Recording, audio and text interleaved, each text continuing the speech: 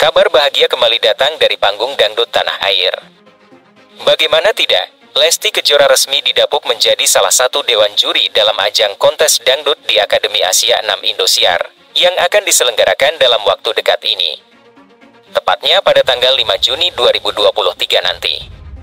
Kehadiran Lesti Kejora dalam acara paling bergengsi tersebut langsung menjadi pusat perhatian para artis yang sudah menjadi keluarga besar di stasiun televisi Indosiar saat ini Salah satunya dari presenter ternama Indonesia, Irfan Hakim. Dalam keterangannya, Irfan Hakim mengaku sangat senang dan bahagia atas kembalinya Lesti Kejora di panggung Dangdut Indosiar.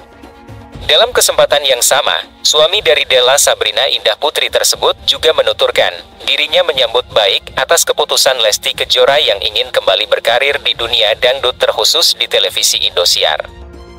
Irfan Hakim juga menambahkan, Bagaimanapun Lesti Kejora saat ini, yang pastinya Dede dilahirkan dan dikenal oleh masyarakat luas lewat ajang yang diselenggarakan oleh pihak televisi Indosiar.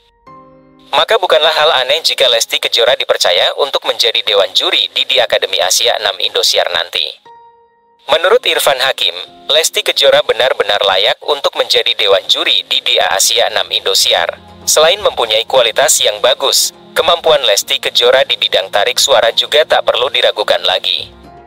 Selain dari itu, Lesti Kejora juga akan menjadi motivasi bagi para peserta agar lebih bersemangat bersaing dalam kontes di Asia 6 nanti. Tak hanya Irfan Hakim, kehadiran Lesti Kejora di panggung itu langsung disambut gegap gempita oleh seluruh masyarakat Indonesia, terutama dari kalangan para pengidolanya yang dikenal dengan sebutan Lesti Lovers dan Leslar Lovers. Hal tersebut diketahui lewat komentar-komentar para netizen di berbagai media sosial, baik itu di Instagram, Facebook, YouTube maupun media-media sosial lainnya. Bahkan, banyak di antara mereka yang secara terang-terangan mengatakan bahwa mereka tak sabar lagi menunggu acara dangdut di Akademi Asia 6 dimulai dan melihat kembali sosok Lesti Kejora tampil lagi di panggung dangdut Indosiar.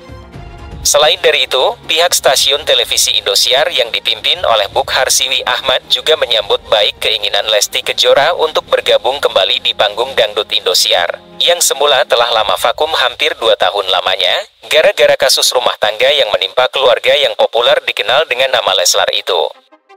Ajang dangdut di Akademi Asia 6 akan dipandu langsung oleh beberapa presenter kondang Indonesia yang namanya tak asing lagi di telinga masyarakat tanah air, seperti Irfan Hakim, Abi Ramzi, Ruben Onsu, Gilang Dirga, dan Jirayut.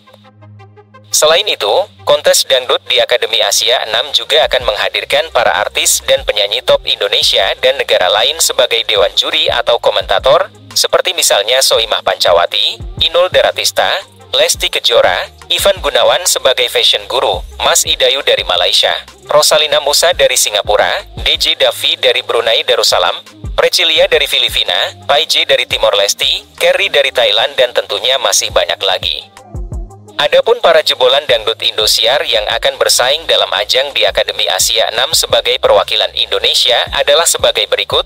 Yang pertama, Sri Devi, Ebi Bima, Avan, Gunawan Lida, Hari Lida, Meli Lida, Iqbal Lida, Wulan Permata, Faisal, Ratna, dan Vindi.